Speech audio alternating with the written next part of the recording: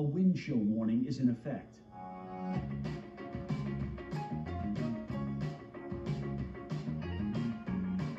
Currently in our area, 39 degrees under mostly cloudy skies.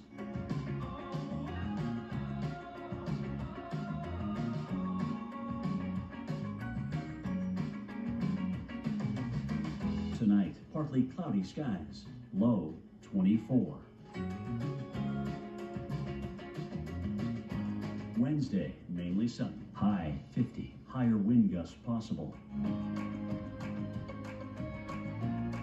Wednesday night, windy with late night snow showers, low minus 5. Here's our seven day outlook.